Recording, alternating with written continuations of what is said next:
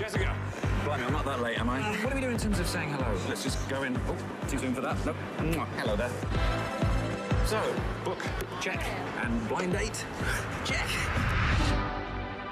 You know, I'm I am a um, a, a dialect, uh, an accent collector, and um, an aficionado. I collect them and I love them, and I have a great respect for the voice and sound. Um, when I did this uh, movie, I, you know, the second I landed in London to do it, I, I was, um, I took on the accent in a, I don't traditionally do that, but it was sort of an experiment in order to be able to um, improvise within the dialect. Because, you know, working with Simon, he, he improvises a lot, and I wanted to be able to sort of um, lob back any uh, sort of comedy tennis that we might be playing.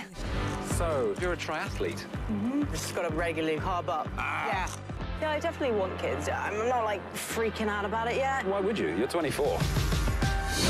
He's he you know he's hilarious and he's um, I think what works really well in the movie that you definitely feel that we have um, you know a really connected kind of comedy chemistry and I think you always want that for any kind of two-hander but certainly a romantic comedy where it, the whole movie is sort of you know it it, it, it rests on that on the success of that connection. I'm not really a blind date, Jack. What? Are you even 24?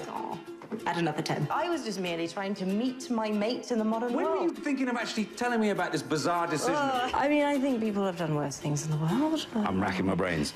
I mean, I you know I went to drama school out here. I was uh, so I spent four years, my college years, out here um, in pubs and um, existing in you know De- I was in Deptford and Sidcup and Greenwich and like SE10 deep. So anyway, I had a frame of reference, you know, in terms of um, you know who I wanted Nancy to be and who I could definitely relate to.